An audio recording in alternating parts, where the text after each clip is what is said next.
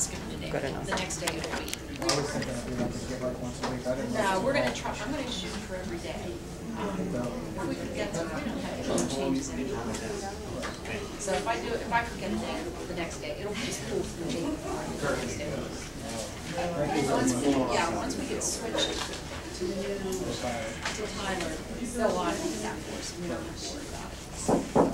Thank you for your excellent. I'd like to call to order the meeting of the Ellwood City Area School Board Combined Meeting, uh, April 9th, two thousand fifteen. We can have a roll call, Mr. Zarone.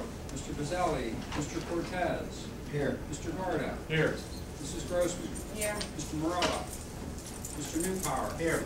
Mrs. Pansara, Here. Ms. Petrelli, Here.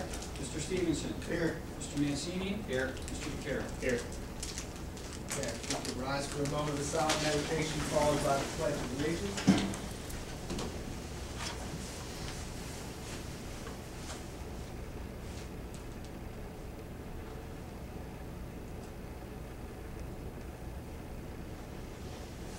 Pledge allegiance to the flag of the United States of America and to the republic for which it stands, one nation, under God, indivisible, with liberty and justice for all.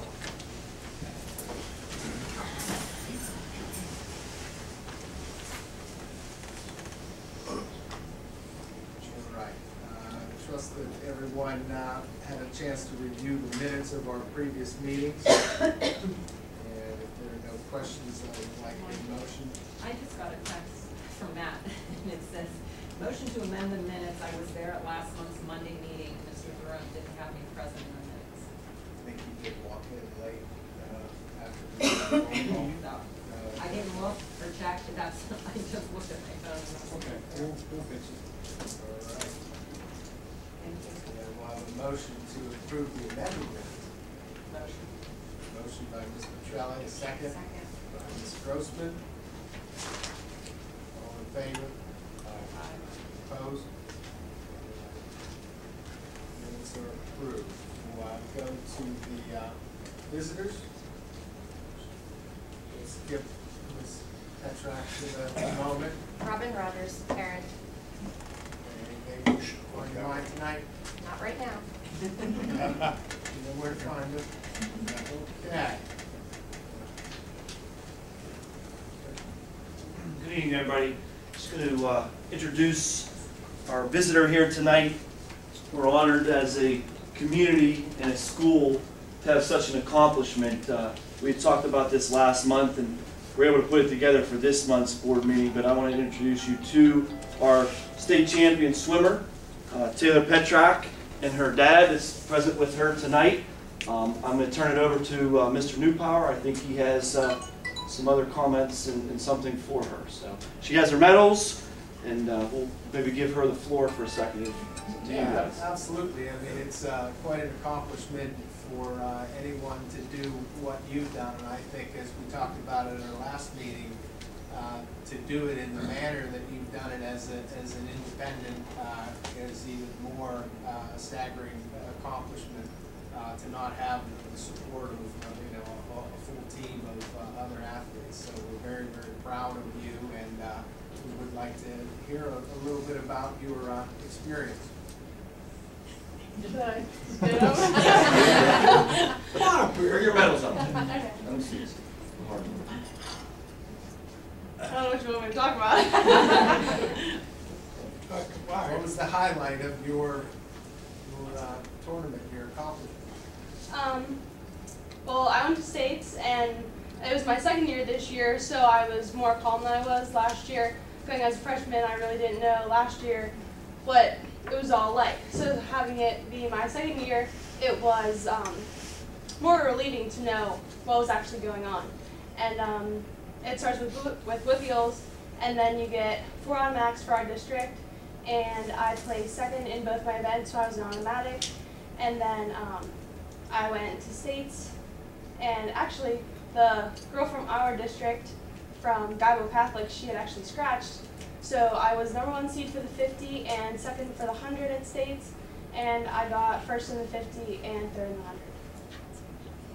How long have you been swimming?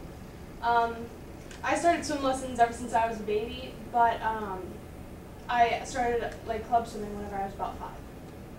So I- I'm 15 now, so like 10 years. a long time. Still baby. Have you swum Correct. out of the Riverside pool? Yeah, I've club swam with their team. It's Riverside Aqua Club of Ellwood ever since. And um, yep, I, and because we don't have a team, um, that's how I practice every day. And throughout the summer, I keep all my training going. So everybody asks me, when's your season start? When it's over?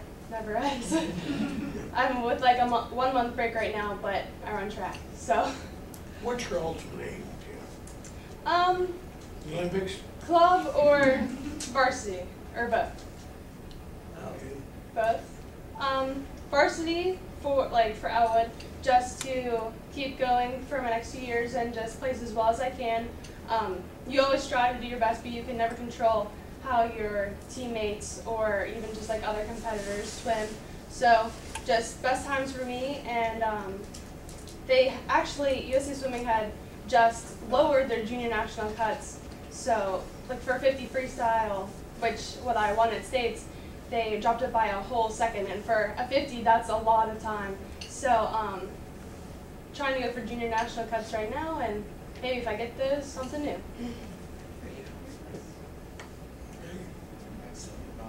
We have uh, a uh, certificate. First, and then they're engraved on the back. Yeah, that's the first. Taylor, we have a uh, certificate from the uh, Ellwood City Area School District uh, School Board of Directors in recognition of outstanding athletic achievement. First place in the fifty-yard freestyle and third place in the one hundred-yard free freestyle at the PIAA swimming finals. Taylor Petrak is awarded this certificate of recommendation. So we'd like to present this to you. You're not gonna give it? No. You like it? Oh, jeez. You got the medal. Oh, she's gonna fix her hair. Tweet it out, so. Congratulations, you know what a big uh, sacrifice it is for uh, the family too. And I Nice to know go uh, swimming, I'm That's sure awesome. much Okay. more difficult than your regular run-of-the-mill Little League baseball. Okay. So congratulations. Thank you. Thank you for all the support from the school, sincerely. Wow. Sorry, we didn't have a pool to throw in. I said this last month, but Taylor wasn't here. As far as I can remember, maybe I'm correct, but we're state champions for Ellwood City High School. Our girls cross country team in the early 90s had a couple. Our baseball team in 2000 grades a team. And in track and field, Jake Walker won a gold medal for two miles. So Taylor, you're in some very exclusive company. Thank you for coming. Thanks. All right, fantastic. Uh, we'll go to the superintendent's report. Okay, just some uh, informational dates. Uh, May 4th, we will have a uh, in-service day uh, coming up for the next uh, board meeting. Prom is May 1st, uh, Crystal Room at Butler Days Inn. And uh, normally, I know I'd have our principals talk, but uh, right now, they've just been pretty much gearing up for the PSSA tests, which start uh, next Monday. Um, Grades three through eight, testing window starts then. Uh, It'll continue through May sixth, four weeks of testing. Um, And then the, we'll start the Keystone tests May sixteenth. So end of the year period of time is when uh, the testing kind of kicks in, and that's all, you know, the, Mr. Keeley and Mr. Lapes uh, buildings have been really gearing up for. I'll turn it over to Mrs. Gibson, uh, if she has anything that she wants to, and then we'll go kind of down the line, and uh, we'll finish up with, uh, Metz would like to present some things here before they leave. Just real quick, we have a scientist coming from Bayer to um, teach our first graders some hands-on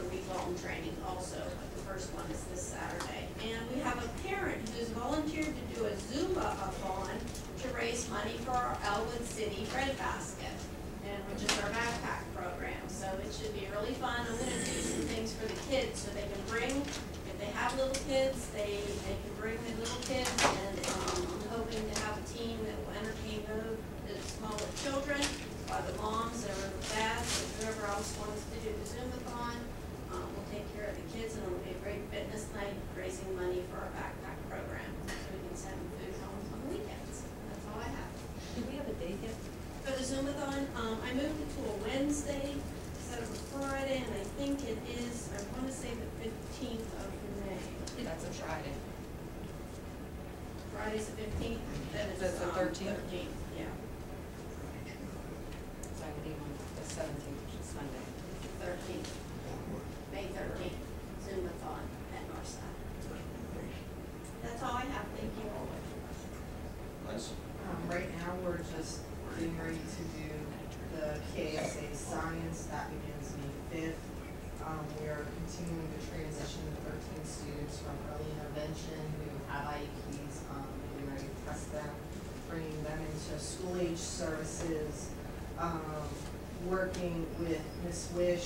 Suicide protocol as well as district CYS protocol due to the suicide initiative, um, that has to be rolled out next year and the new CYS law to make our protocol consistent with the law. Um.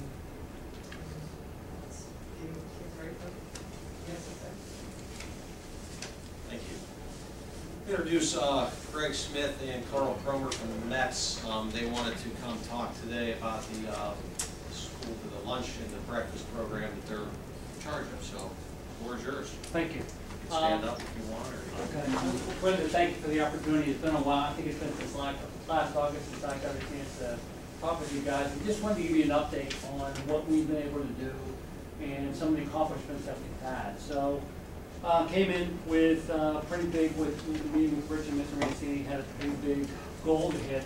Um, the district was down around fifty thousand lunch meals, and with the goal, with, you know, was having some marching orders, we want to get those meals back, what can you do?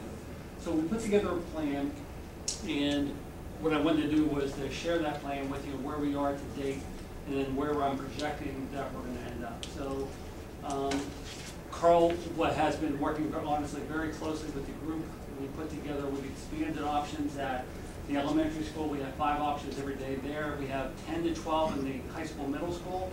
Uh, we added, uh, and changed the, we added a concept right onto the main serving line, and then we changed that back line from an à la carte only into a reimbursable meal line. Because I really thought that that's what we needed to do there, so, uh, and then, one of the keystones to be able to do this was to offer every day a, a really wide variety of fruits and vegetables to make sure that the kids were eating the way they should.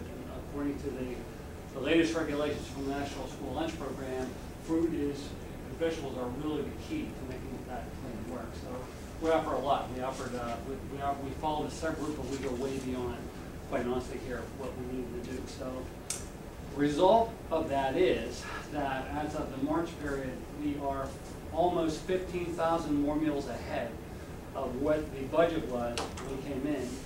And it's a little over fourteen thousand six seventy-five to be exact, but, uh, and I'm projecting that by the end of the year, we'll end up doing twenty thousand more meals than what the budget was that, that Rich and Mr. Mancini gave me. That, I think that's pretty good, when you consider that we're down forty-one students, and while forty-one students may not sound like a lot, at the rate of participation that we have, that's around forty-five hundred meals alone.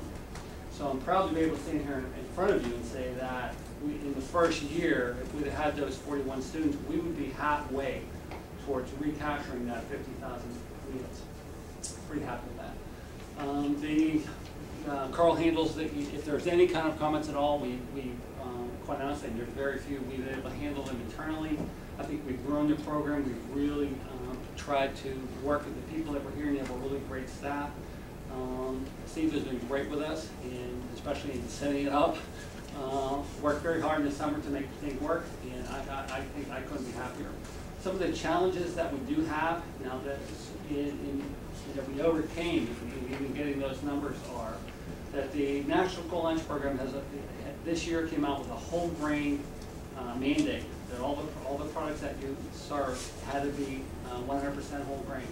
Well, that's pasta, pierogies, stuff you wouldn't think of really.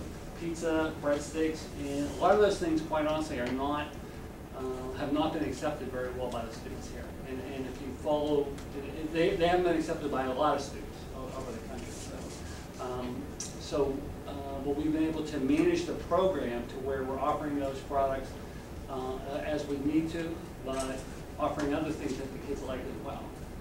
One of the, another challenge in doing that is not only do we need to offer those products, but quite honestly, they in general cost twice as much as their non-whole grain counterpart.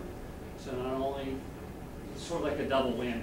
Uh, while we're selling less of them, I'm spending more money to be able to do that. Uh, we offered, um, that alone, in this year in particular, we've had a- it's been an interesting weather year.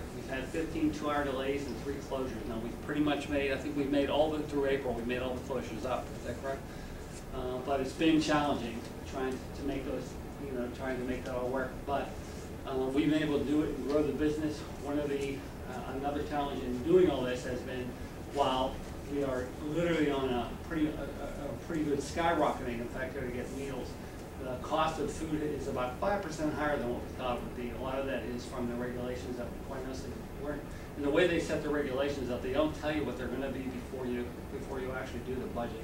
They sort of tell you after they, you know, so, uh, but we're managing, Carl's done, a great job in managing all of that down. Uh, I think it's been a really good experience here for us. Hopefully it's been a good experience for you too.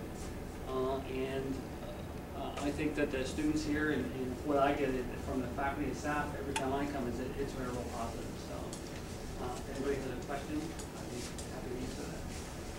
You know, it's an observation. I'm sure it doesn't mean it, but in a town like Ellwood City, you go to a group of young men and women who've eaten pasta all their lives, cooked by their grandmothers and their aunts and uncles and mothers, and tell them it's gonna be whole wheat, yeah, right.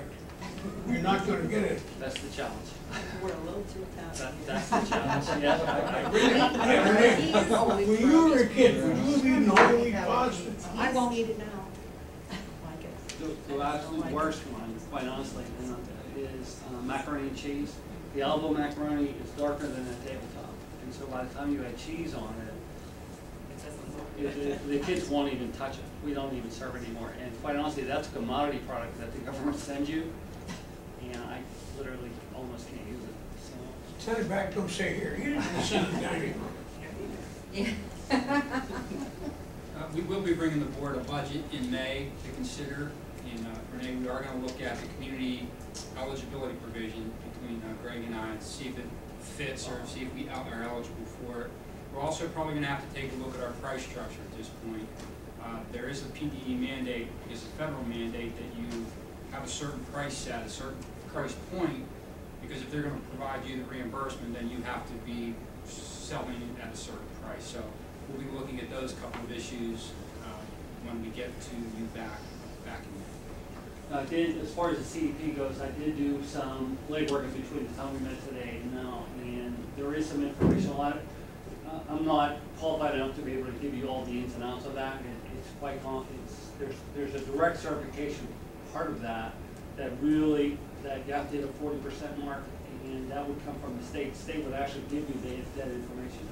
Uh, but we do operate Erie School District, which is on that program, and if you would like, I can certainly have the general managers and the district manager from that school come down and say, here's how the program works, and here's how, you know, here's, here's the, the benefit or not benefit for you, depending on how it goes. I'll follow up with the state and see if we Okay. can qualify first. I mean, I I don't wanna, because we're not at forty percent at this point. Not on direct search, I don't believe you are. Uh, we might have forty, because that's pretty reduced, but not direct search. Okay, so we'll follow up on that. Okay. Thank you. Thank you. Thank you Thank you very much. Okay. Thanks, Carl. Oh, no problem. Have a pleasant evening. My work hard at this one this evening was really warming up. Thank you.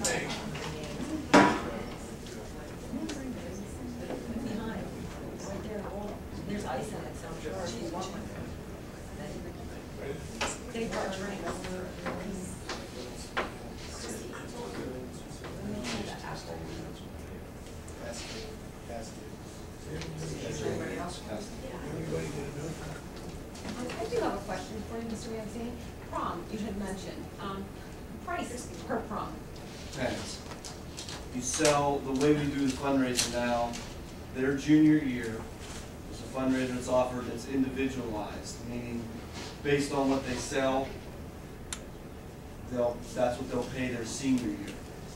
If they don't sell fun- or fundraise, then standard price is ninety-five, or no, it's ninety, I'm sorry, 90. Is that per couple? per person. How can it be that high? Ninety dollars. It was higher about five years ago before we changed our fundraising procedures. Seriously, ninety dollars per person to go to the prom? Yes. Well, I guess we need to bring it back to the school. Oh, How do the kids afford it? Good luck with that one. If they fundraise, it, it's not that much. Yeah. That's per kid. Yes. That's crazy. Especially when you go to the prom and you're like, it's a barn with I just can't believe it's that expensive. It's a barn with ferns. Okay, That's too much. Moving right along.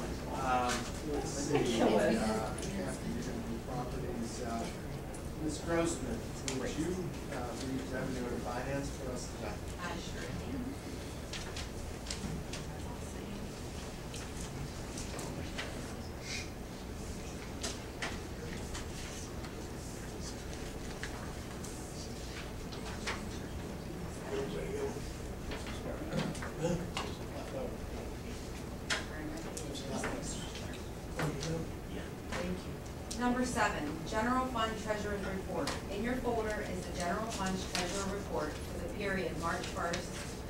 31st, 2015.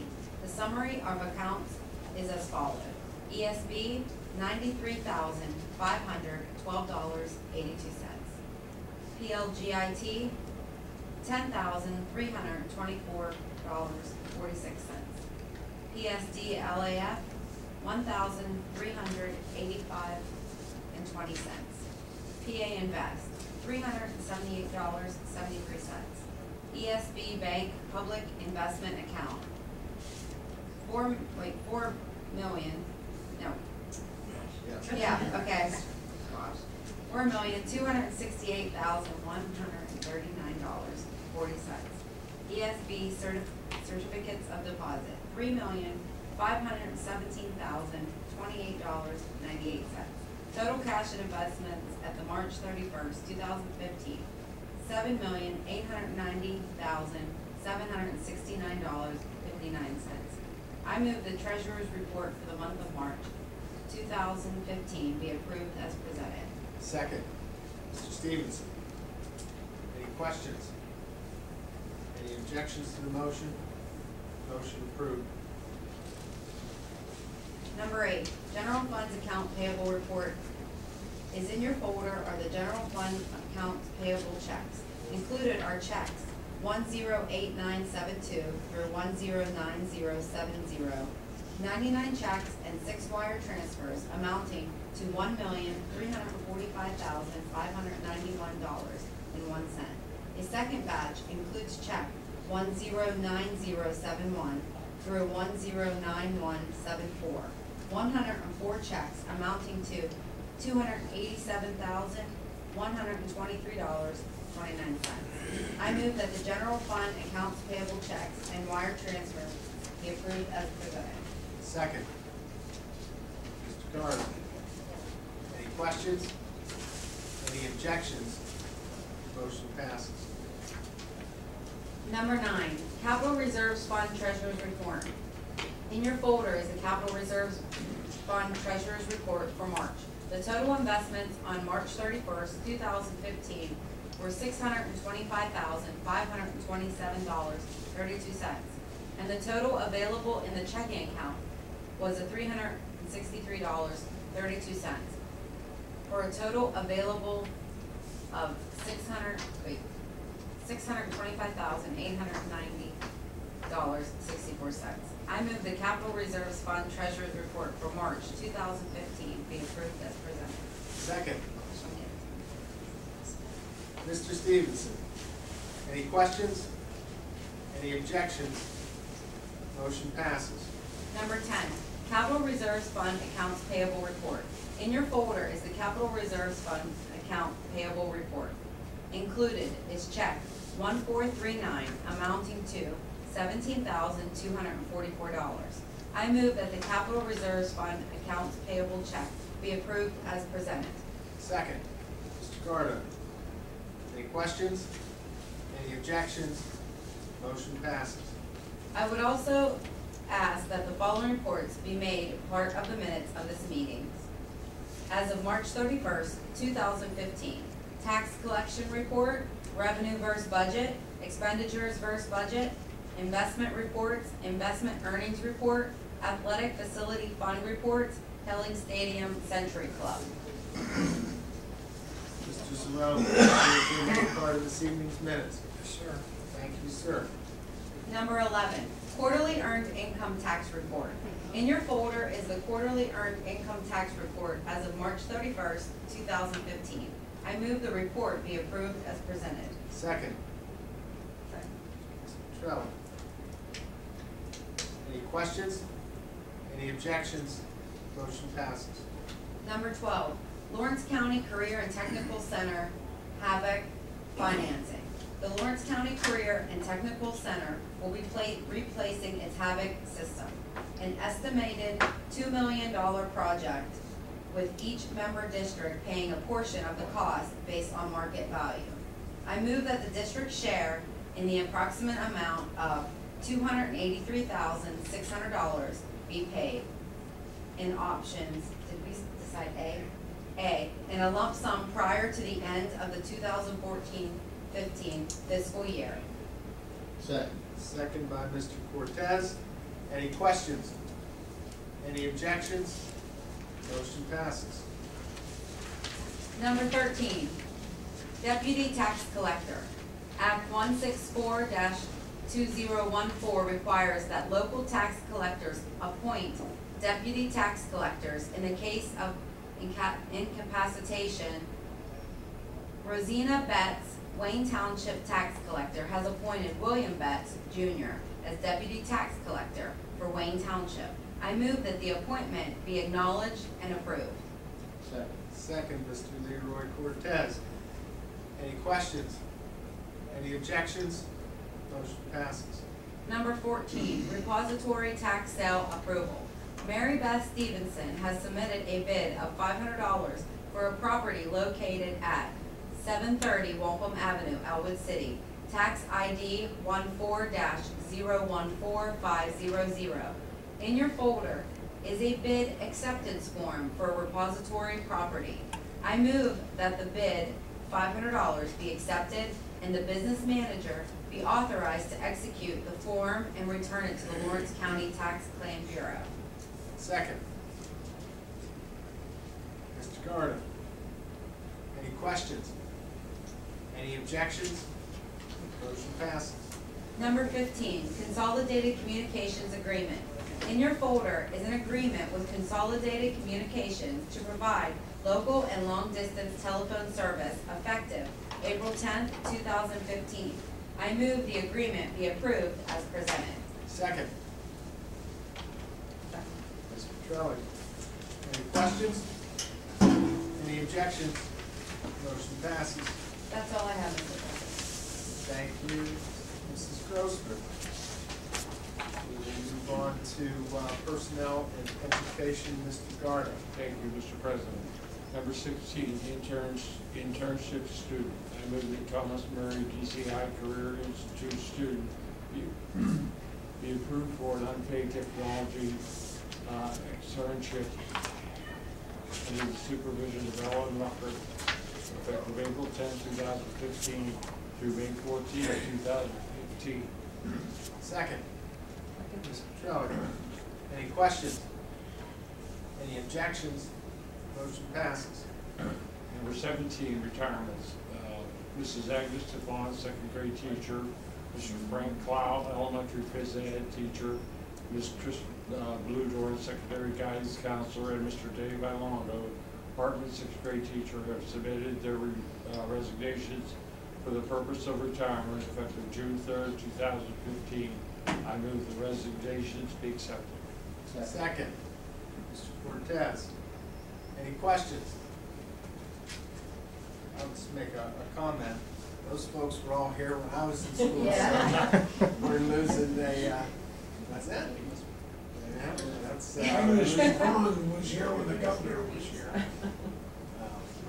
Mrs. DeFawn was my third grade teacher and I have very fond memories.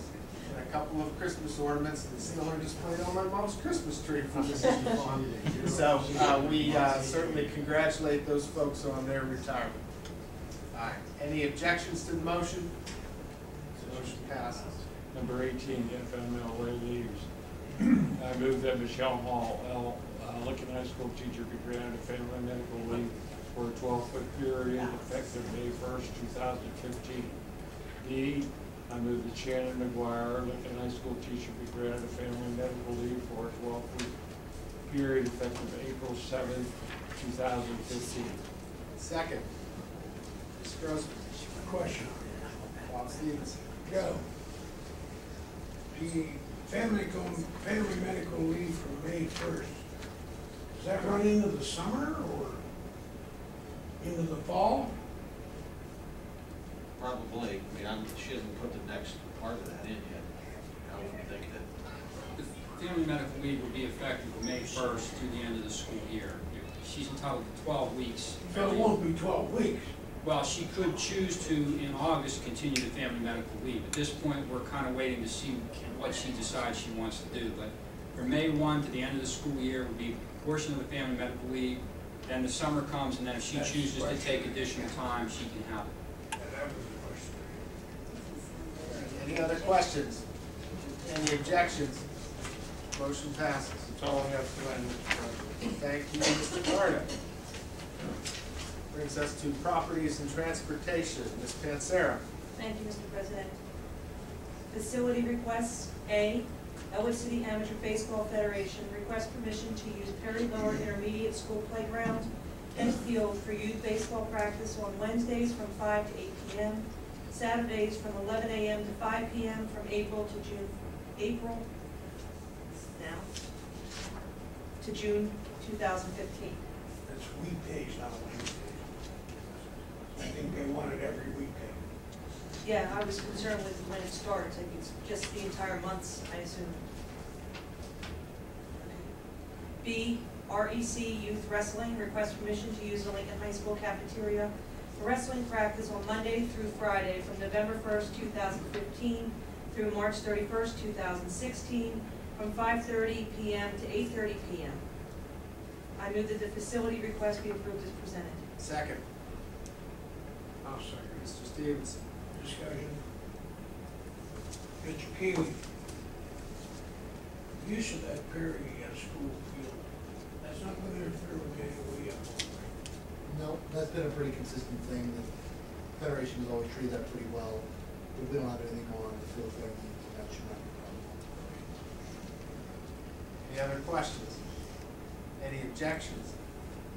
Motion passes. That's all I have, Mr. President. Wow.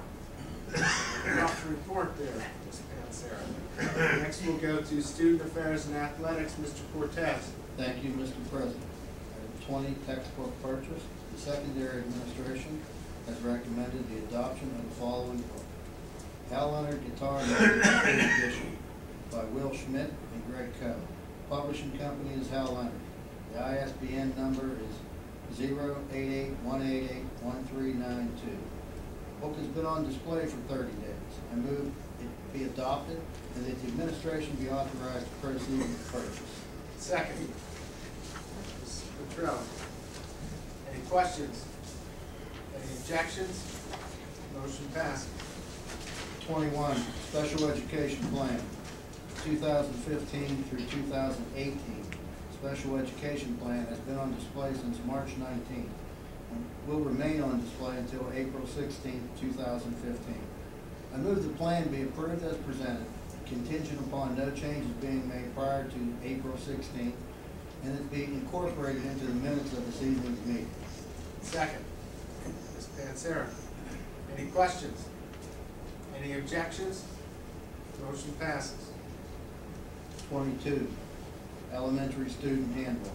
In your folders are changes to the elementary student handbook as recommended by the administration for the 2015-16 school year. I move the change be approved as presented. Second. Ms. Panzera. Any questions? Any objections? Motion passes. Twenty-three, athletic expenditure report. In your folder is the athletic expenditure report as of March thirty-first, two thousand fifteen. It reflects total monthly expenditures of fourteen thousand, six hundred sixty-eight dollars, fifty-eight cents. I move the report be approved as presented. Second. Second. Ms. Panzera. Any questions? Any objections? Motion passes. That's all I have tonight, Mr. President, under student affairs and athletics. Thank you, Mr. Cortez. Uh, Recognition and communication, Mr. Stevenson. Uh, sir, I have none to report this evening, unless they just didn't give them to me. No, they said they didn't, but everybody's bad. Except Taylor. Yeah, We did honor state champion, so that's, that's pretty good. yes, we did honor Taylor. Okay, do we have uh, anything under new business? We gonna discuss the, um, senior privilege? To? I would like to discuss the senior privilege. Where's yours? Well, it came to our, um, I don't want to say this. Found out this week about senior privilege, privilege, and, um, I'm not sure since I didn't have the luxury of speaking with the rest of the board, what your opinions are on it. Um, I had heard about it and went in and spoke to Mr. Mancini, and couple of people already heard me say this. Um, I honestly didn't think it was legit, because I heard it on the street. Um, but, you know, he explained why, and, you know, uh, listening to his reasonings, and I, I understand where you guys are coming from. Um, I think that as a board, we are going to have to make some, um, decisions on how we're going to be notified of certain things, which I'm sure that will come. But after thinking about senior privilege, as you guys are putting it for this, last week, um, I have to say I'm against it. And I don't, like I said, I don't know how the rest of the board feels about it, but, um, I think that we are setting a bad example. Um, I think that we need to, to provide the education. If we're having problems, we need to hire, we need to hire a teacher to, um, fill the slots so that you have an easier time scheduling. Um, I think that we need to, to look at what we need to do to make that process easier for you. Um, I think by letting them out, that we are opening ourselves up to, first of all, having a hard time tracking them, because you have kids coming in early, you have kids leaving. Um, you, they're gonna be hanging around the school, waiting for their friends. I mean, I just think the, the main thing, my problem is, is that, you know, we're supposed to be defenders of public education. And I see, I feel like this is kind of letting, dropping the ball, saying, oh, you've done enough. I mean, I see your point, I'm not saying I don't see your point, I just think that we can do better for our kids. I think we owe it to them to provide the education for it to be there to them. Ms. Grossman.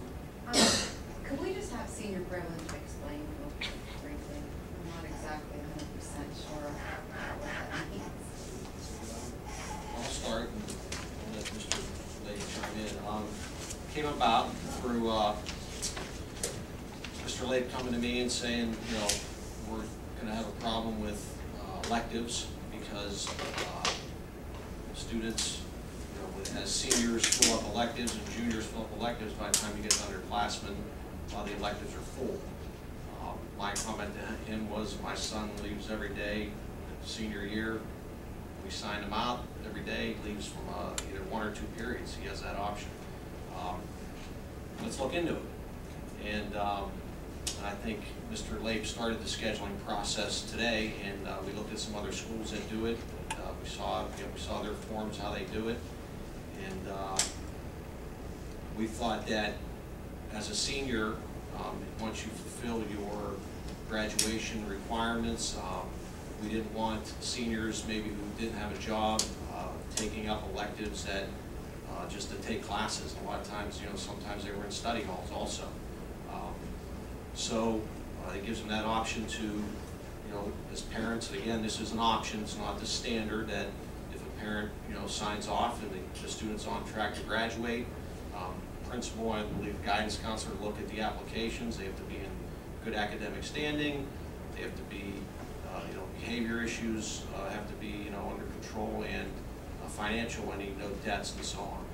Um, and if they went through that process, they were on track to graduate, got their credits to graduate within their senior year, um, taking the classes, um, and not maybe fill up their schedule and affect other students in the lower classes who need electives, um, we gave them that option. Um, Mr. Lake, if you want to fill in as far as, if Yes. I missed anything? No, that's, sums up. To me, it's an option that the parents agree to. Um, And that's the way we posed it to the juniors when I met with them last week, gave them the information. Um, We did schedule the juniors that are gonna be seniors already. The numbers that came in, um, right off the bat were, there was thirty-eight students that chose to do that. Out of the hundred and, I believe twenty in that grade or hundred and thirty in that grade. So that's where we stand right now with it. Um, Parents are the ones that get granted permission. Um, Could have students stick around and just be in study halls or take a class here and there. Could do that as well and continue to do that. That, uh, that causes issues for freshmen and sophomores when the classes aren't available for them to schedule. We're halfway through the scheduling process and it's been pretty flawless. Um, We only have a handful of elective classes that are closed at this point.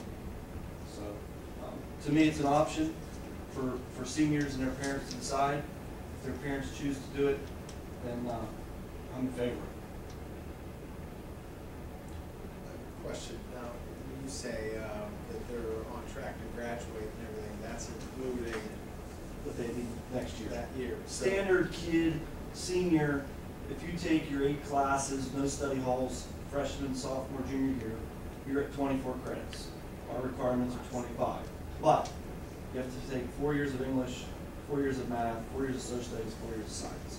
So going into their senior year, they still need a math, an English, PE, if they haven't taken health yet.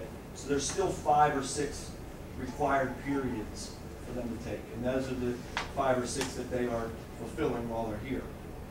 And then they have the privilege to leave uh, or come in, or come in late.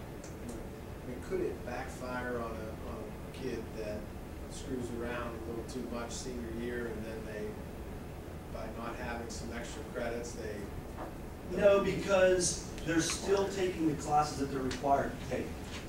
They have the credits. Credits aren't the option. It's- the required classes. So they would still be taking those classes no matter what. So they know that, I mean, for instance, when I taught government economics, twelfth grade, one first thing that came out of my mouth talking to those seniors, first day of school, I need my class to graduate. So that's the essence that those students are in. They're taking the, the history, English, science, and social study, and the math. They need those classes anyways.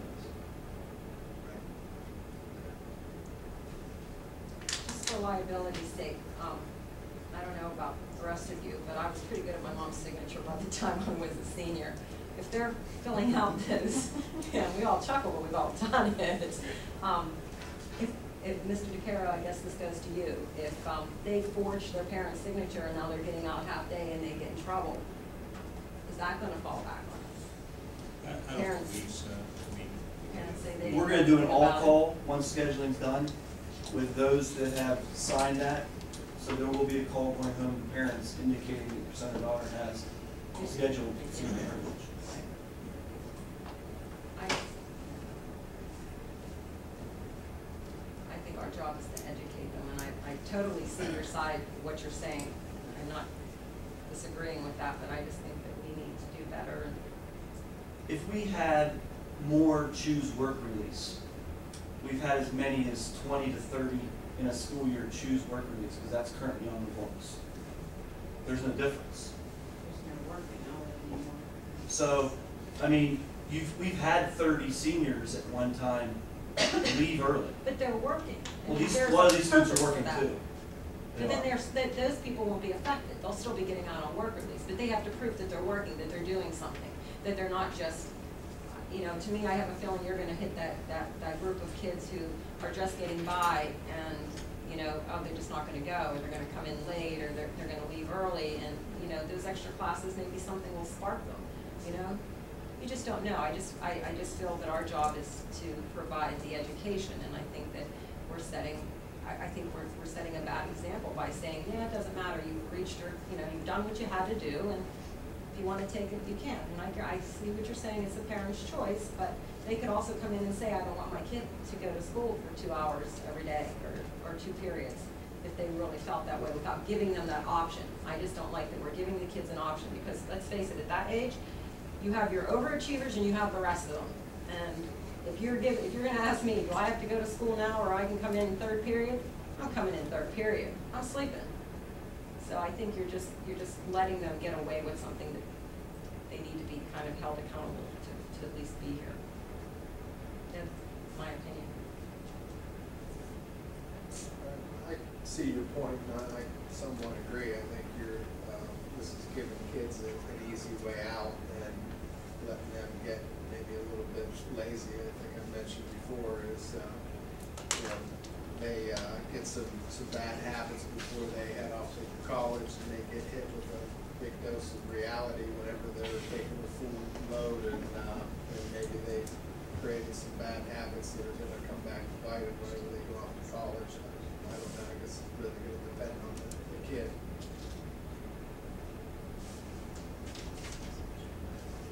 Any other questions or discussions regarding this topic?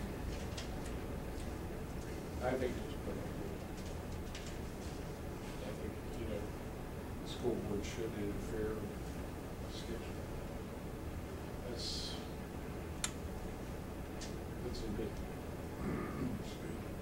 uh, that's a the administrator should have. Thank you, Mr. Warner. I guess my two cents is I've had three girls, you know, graduate from Roman City in the last couple of years and, um, you know, they could go days, you know, they come home and they're like, we didn't do anything this week.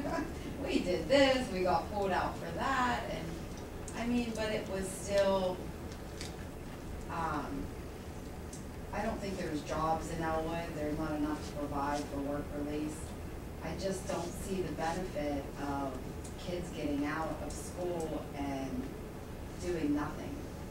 I wish there was an alternative we had, an alternative to make them go in the classrooms, help with the special education, help with something, do something, cause Do something, right? Get them more involved. something, I wish there was something more for them. Um, you know, ones that that might go on to be teachers, they could be in a club, that they could go to class and help teaching, they can, I don't know. I think if you, if you put a little time into them seniors, um, it's like their last hope.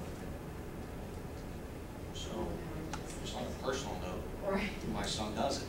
Right. And he wrestles, he's in a wrestling college, and it's not like he's a bum or lazy or didn't go find a job or, you know, I mean, it's not, I Right. mean, he, this is what he did, he, we signed off on it, that he would Right. get out early, go home and actually sleep before wrestling practice, or go home and do homework before Right. wrestling practice, because it was, so it just fit into what, It fit into his lifestyle fit into his lifestyle, yeah. and it, and it, he's And I could going see to the college, kids- he's, you know, right. so. I Or mean, maybe the younger kids want this privilege, so they work harder to get all their requirements in, so when they become a senior. And he's taking oceanography, he's taking computer gaming also as a senior, he's Right. taking his required classes, his English, his math, his sciences, his, he's done with his social studies, only have three credits, so it's different, but I mean, it's, Right. it was an option that the school offered and we took it, and it, it just fit him, and he's, it's not like he's, he's motivated, he's going to school, he's gonna wrestle, he's going, Right. so I mean, it just fit into his lifestyle, we chose that, we could have very easily said as parents, you know what, you're going to school all day. But we didn't, so I mean, like Mr. Lape said, it's an option that it And like fit you into said, it's an where- option, it's not like a demand, it's not like they have to. Right, and, um, again, it's parental decision, it's, it's, if they want their child to take electives, or they see some class, or like even the student is interested in a subject that they, they, they wanna take, um, they still have that, hey, mom, I wanna take this class, so they take it. Not, they don't, and it leaves an option, an opening for those underclassmen who get stuck in study halls, or it's not there, so, um, we solved our issue as far as scheduling, and we've got a lot of experience in master schedules. Um, We've been doing it for a long time, and, uh, again, it's an option. One year you might not have any kids take advantage of it, you might have five, and one year you might have twenty-five. It Just depends on the, Or would you go to cyber school so What's that? to take the cyber course? Any course that they, that we offer through RCI, Mr. Sovich finds it. That's always an option. So these kids could be taking a class in school, say ninth period or No, first period. because we need a teacher with them. To When take he a sets cyber. up on cyber, that could be done anywhere. If we have that option and to put them in a room, then yes, we could, but now that's just another, it's a staff member that I need for cyber classes, ninth period or eighth period, where I don't, I need a body for that. I thought cyber was taught, they, they self-teach. If Somebody's gotta be with the kids. If You you can't have put them in a class. room. Synchronous, you have synchronous and asynchronous, so synchronous is they're running along with the teachers, it's almost like a live classroom shot. The asynchronous model is what we've kind of adopted, where our teachers still support and do the grading and do the paperwork, and provide options for the students and, you know, help the students through, but again, the students usually typically at home. We have, we do have kids that come in to do a hybrid schedule, where they come in for part of the school day, if they can't replicate a class online, if they need to come in for a, a chemistry class or a physics class, they just can't get that information online, and then we do offer that hybrid option them to come home and do the rest of the classes, so we've been very flexible with that and, and trying to meet the needs of students, and it's really helped, um, from losing a lot of kids to, uh, typical charter and cyber schools. What, uh, what other area districts, uh, say in the county, offer the secret privilege like went to my last Tri County Principals meeting, I asked that question. Um, Nobody has a label for it like we put on it with senior privilege. Um, Everybody does work release a little bit different. I'm not gonna mention schools here in public, but one school has a parent sign off that a kid has a job and they never check it the rest of the year. Uh, Two or three schools are like that. We currently, with our work release, have a teacher that check the pay stubs every two weeks. Some schools do that, other schools don't. So, did they necessarily put a label on it? No. Uh, where we really got the idea was from the Center for the State, out of Manheim. Uh, Bigger school district. I actually tried to contact them to ask some specifics, and their school district's so big that I got put off on about three different people. Um, But did find their policy online, um, locally, I think we also. Uh, Got some other ones. Slippery Rock, I thought was, uh, or somebody else in Butler County, but everybody dices it up a little bit different, you know, how you do work release or privilege. I remember something too, years ago when I first got here as assistant principal, we used to have probably about sixty kids that used to be on work release. But there was no checking on those kids. It was just, it was, kids would say they had a job at the beginning of the year and if they lost their job, there was no coming back. It was just, okay, you signed out at the beginning of the year. Um, once we started regulating it and had a teacher in charge of checking his pay stubs, it dropped down to like 30. 15 this year. 15. So, so it just varies as far as, uh, but if you check them, you know, that, I mean, we have kids, 60 kids there. I guarantee it. 50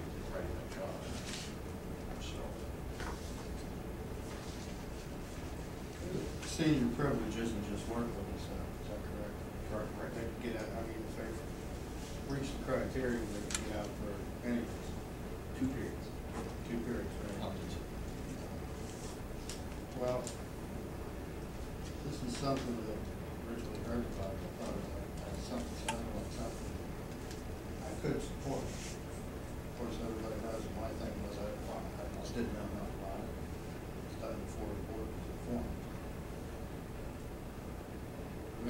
Petrelli had brought up some interesting points. And I think that, uh, one of the concerns is like, someone like Mr. Maxine is going to be an exception. I'm sure there are students who are going to use that time very well. I think her concern is. It's not the ones that are gonna take the time. I, I understand.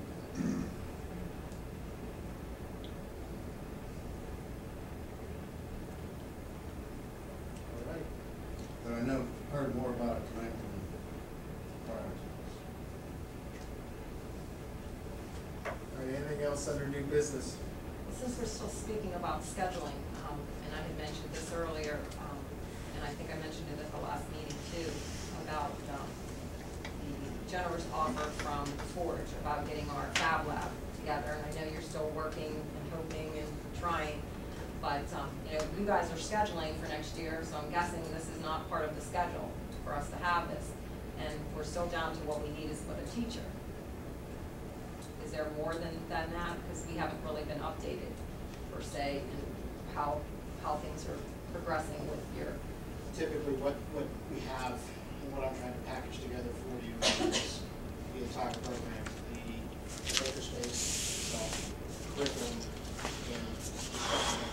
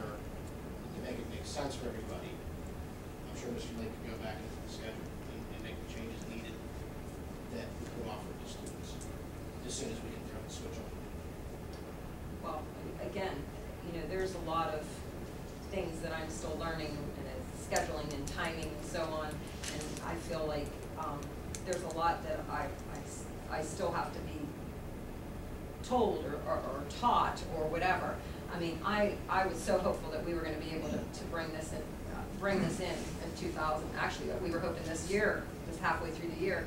And I would hope as a board that we can discuss if, if we need a teacher and he can pull the rest together. I don't feel that the Forge is going to wait forever for us. I think we've been given a gift that we are, are, are abusing. And I feel like if whatever we need to do, we need to do it, and we need to do it now so that it is there and ready for next year before we lose their beautiful gift that they're giving us. And, um, I would like to think that the rest of you are feeling the same way, and I think we become so overwhelmed with all the extra things that are thrown at us. Again, we're still not able to sit down and, and look ahead and plan the things that we'd like to see happen.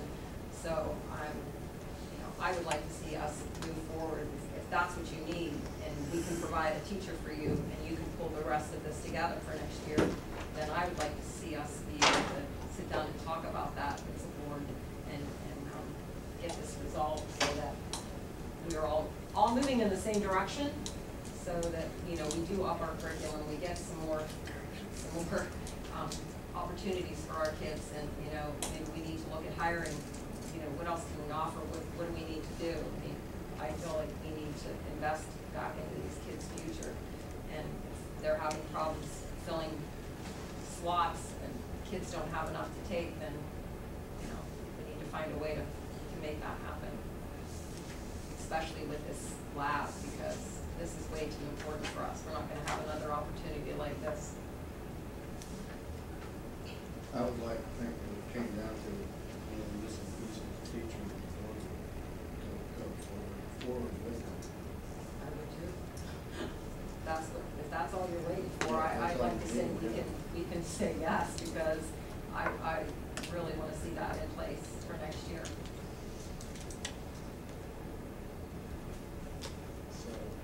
So what's the timeline? You have a couple of meetings coming up. two meetings coming up. Um, Actually, with Mr. Mancini too, because we've actually looked at some changes that we'll probably have to make to the initial layout. Um, Forge was really offering metal working equipment, and it's a lot of, it's a lot of money, but what we actually need is more of the technology side, the, the actual making materials. So we have to kind of go back and redraft that and ask them, you know, we need these materials, can you support that? Forge needs engineers, Forge needs people like that to work for them, so I'm trying to get them to see the worth in that, because they were really upfront with whatever metal machine we want, we'll get that for you right now, Or right now, we can get it. But what I need them to see is that not only do we need that end of it, we need the maker materials, so we get kids to think, and engineer, and to make, so that they can actually get to that point where they are employable, hopefully, an employee that they can use, right? I think we'll see the work in that. And um, our net runs with 0.9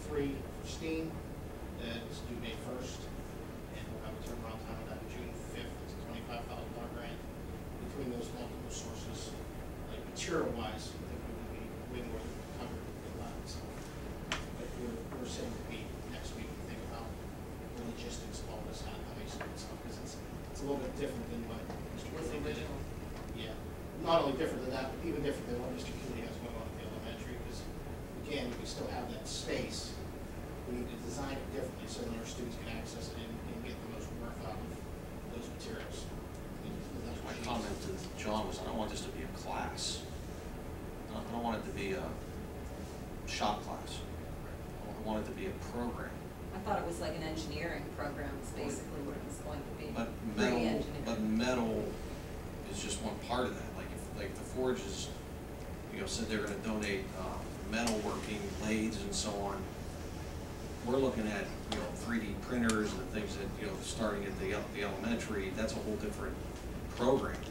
And I don't want it to be shoved down in a shop, I want it to be in the library, like I mentioned before. Right, I know. You know I've already talked to Aaron Parkinson, the librarian, about, you know, let's, you know, reconstruct this library into a learning commons. Uh, you know, two oh three lab could be that makerspace lab, that area in the back could be, so it's not just, I- want it to be a place where teachers are gonna bring kids and are gonna collaborate and solve problems and projects and project-based. So it's not just a class, it's not just an area where, you know, where one teacher has metal work or metal shop. It's gotta be a whole collaboration where a social studies teacher can bring a person into this, you know, a class into this area and do some things. Um, But aren't you talking about two different things though? Because it seems to me if he, if we need a teacher to run this, these specific things, then that is going Well, to be. gonna, you have two oh a- three, a you've got class. a class over there, you've got Okay. another area, you've got the library, which I wanna change also, Right. so, um, talking to, you know, the, the librarian, it's not something that's gonna happen overnight, it's gonna be a process, it's renovating the library, changing the way the library looks, dividing it, we have walls that move, uh, you know, so, I've her to go look at other school districts that have learning commons like that, that, um, include all those ideas of, you know, creativity and, um, But the so- metal, going back to what the Forge originally asked for, is that what Riverside has? I have to ask. It's, yeah, Riverside has something, Very similar? I thought they wanted to do something different here than they had at Riverside. they wanted to closely replicate what they did at Riverside here. Oh, And the way I was steering them was, we really want to invest heavily in the maker end of all this, because I think you're gonna drive a lot more creativity, think you're gonna get a lot more out of them than the experiences that they're, they're initially designing at Riverside. So I still have that dream, that, that, that focus of getting the students to have that true maker experience, where they can go in and develop, prefabricate, and engineer, and look at all those aspects, because it's, it's very, very different than what they do over at Riverside. Right. But the, the the Forge, I think the Forge sees the worth in it. I think the Forge also knows they need to make people that are, un- understand how to use their machines and understand how to come over and do a horizontal boring mill, so by the time they get down the Forge, they know how to run a horizontal boring mill. I think that's important, it's definitely important, but that doesn't fit the needs of all of the students that we have. I'm not, like I said, I'm not looking for money down, I, I definitely want to use that, utilize it. Right. I just need to turn it and, and help it into, you know, kind of select what we want for the programs here. Mm-hmm, and if it's not, that's not what they're looking to do, is that something that, is that a program that we could still utilize here? I mean, is it still something that, that, that you think that there would be interest in? Doing it just that, what they're talking about as, as it sits right now on the table? I would think if you look at, you know, we, we have a comprehensive CTC. We have the Lawrence County Career Technical Center that we rely on heavily to teach our students those skills. Okay. Riverside isn't that case, they only have a part-time, uh, career technical center. So that, that skill, that subset, I'm not gonna tell you, I don't, I don't want kids to learn metal skills, I don't want to tell you the kids aren't need to know how to weld. If you look at Marcellus Shale Industries, if you look at the up-and-coming industries, those kids are gonna do very, very well for themselves. But, you know, we can better apply money here and look at the actual maker side of all this and replicate all the way through the programs. You're gonna have a comprehensive program from kindergarten all the way through senior high in, in terms of that maker, that, in that engineering technique. That's where we kind of. Want, that's put what we want, right, oh, I, I agree totally with you. I'm just, you know, not wanting to, you know, upset the table I at the understand. It's a, it's a, it's a very delicate tactic, absolutely. The, the high-tech lathe that the Forge bought for Riverside, bought the identical one for Lawrence County for the tech. And since Riverside, Beaver County doesn't have one of those students really there in Catholic level, they bought that one specifically For for. Lawrence County, oh, for Riverside. Because our students, you have access to The one one. in for Leavenworth. Lawrence County, yeah. But yeah, I, we, we definitely have a huge opportunity here, and we're, we're not gonna leave it go, we're not, like I said, keep pushing the buttons and putting the grants out. We'll, we'll get the money, and I'm confident of that, so. I just, uh, wanna make it make sense for everybody, make sure we go the right way with that. It's, it's a program, it's, it's a process, it really is, it's not like, uh, you just Oh. can't turn on the light switch, I wish I could. Oh, I know that you've been working at it very diligently for a very We- long we- time. We have a great team here that's gonna make it happen, it's too important for our. Right.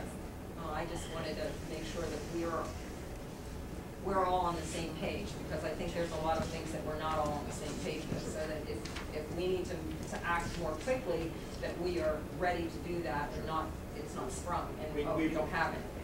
We appreciate, the administration appreciates that, definitely.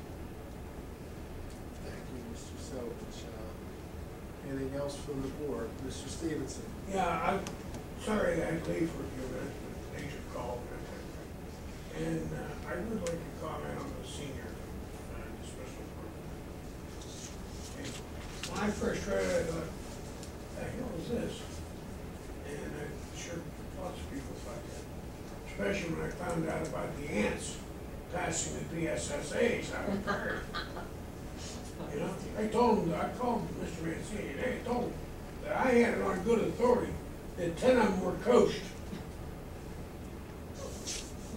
And that they really weren't gonna pass fourth grade. Anyway, we get, that was a little bit of fun within that program. After giving this a lot of thought, this senior idea, there's a lot of merit in it, I believe, for a couple of reasons. Uh, not so much that we're just saying, hit the road, you've done enough, as Renee said. You know, that's not what we're saying. I think what we're saying here is you're about to become an adult. You're within one year of having adult privileges. Okay? So let's give you just a couple of privileges that the other students don't have. And let's see how you handle. So make it part of the educational process. If they're properly controlled, only the students that are on track to graduate. Not disciplinary problems. They're disciplinary problem, no, you stay in school. Okay? If they're on track, they're ready to go, you're still, all right, let's ease you into adulthood just a little bit, just, a- just a smidge. Couple periods a day. Let's see how you handle. If you screw up and you wind up doing something illegal, well, the guys with a funny looking at will be talking to you. You know? Parents, of course, have to be part of this, and like she said, we've all done it, so not just a signature. We have to have had a personal contact, one of the administrators has to have had a contact. Personal contact with the parent, got their approval. Okay? Properly controlled, I think this could, solve their problem with scheduling and cutting the younger kids out of programs, which happened even back when I was in school. Woodshop, you couldn't get in woodshop unless you were a senior.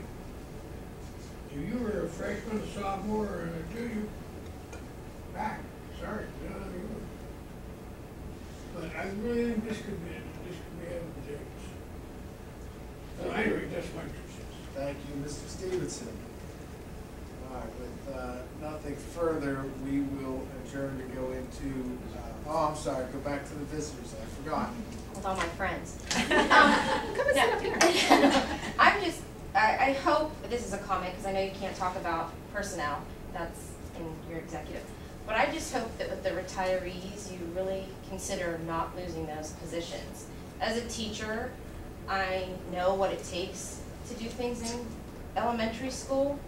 And if you put more things on, when you're already asking teachers to do data, to do DIBELS, and to do all these programs that are being asked of us as educators now, it would be really hard if you eliminate positions because of funding. And I'm sure with them there, they're at the top of the list, so they make up here. When you bring in teachers that are younger and start out, you're obviously still saving money, but you're still not losing positions because that's really important. And it's really hard because I sit here as a parent, but my passion is my teaching, and it's been my passion for 17 years. And like I go back and forth if I should move my son, who's a sixth grader, to a different district. A, come to me with to get what I see happens in my district, or to send him somewhere else around here. my daughter, obviously, who's in seventh grade, she's invested with friends and things that are here that I can't take away from her. But I just hope that you think about that when you cut these teaching positions and you do things because it affects the good kids as well as the ones that don't care and are never here and you'll never see their parents. But I do it because I do care and my kids want to go to college and I want them to get what they need to go to college. Um, obviously, you all know that my brother teaches here because it's not a secret and I do things for me because I'm the oldest and I was the one that did things first. David doesn't talk to me about things because that's my brother, if you really knew him. And I had pride in the fact that my kids were going to get to have their uncle in this district. And I didn't go here. We went to Riverside because we're on that side of Ellwood. But it just bothers me, things that I do hear from parents around who aren't educated, and I, yes, I am educated. And I just hope that when you make these decisions, that you're doing what's right for these kids, and not just my own, but for other kids that don't have the families that stick up for them. And I am, I'm really nervous about what's happening in Ellwood. Why would you want to come to Ellwood City? I can't even think about selling my house because there's so many for sale because what's in Ellwood, and it's true, there's no jobs anymore. The businesses have moved out besides the forge that's still here. And so it's a scary situation when you have kids in, in any district now, but especially here when there's not classes that are offered.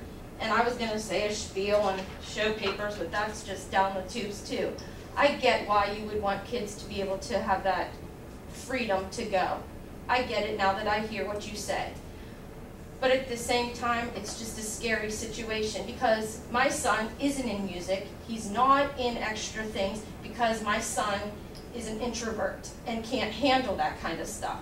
So I think, okay, what's he going to get with Ellwood? Because there aren't electives here that there are in other places that he could do, and it's intrinsically for him. So that's my two cents that it does, it scares me, and I have to make decisions about what's right for my son, whether he wants to be here or not, because he's still in fifth grade and I can still dictate his life, unlike my daughter, who said, I'm not moving. And I will be with Uncle David if you move, because I'm not leaving Ellwood and my friends. So I just hope you think about that when you do staffing and you think about the kids and not just about the business that, yes, it's a business, but it's these kids that are our future. And if we don't have things for them to do, why would they want to be here? Thank you very much. I'd like to see what you have. No, it's just like things that are offered like at my, where I teach and I'd still like to see it. different things, so If you don't mind. you can have it. It's just online. Okay. Thank you again.